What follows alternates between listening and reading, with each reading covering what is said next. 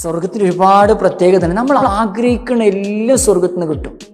ഇപ്പൊ നിങ്ങൾക്ക് നല്ല ആഗ്രഹങ്ങളൊക്കെ അല്ലേ? ഓരോന്നും ഉമ്മാന്റെ മുമ്പിൽ പറയാൻ ഉപ്പാന്റെ മുമ്പിൽ പറയാനൊക്കെ.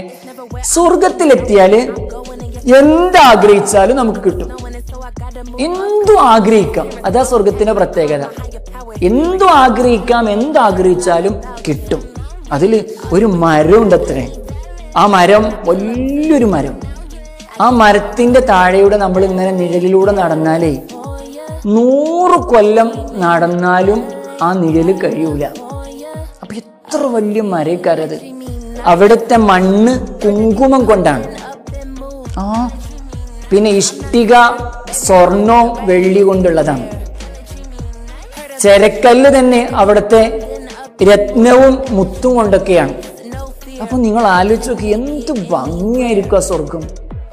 അല്ലേ ഒത്തിരി അവിടെ നാല് പുഴയുണ്ട്. ഇപ്പൊ നമ്മുടെ നാട്ടിലൊക്കെ പുഴയില്ലേ?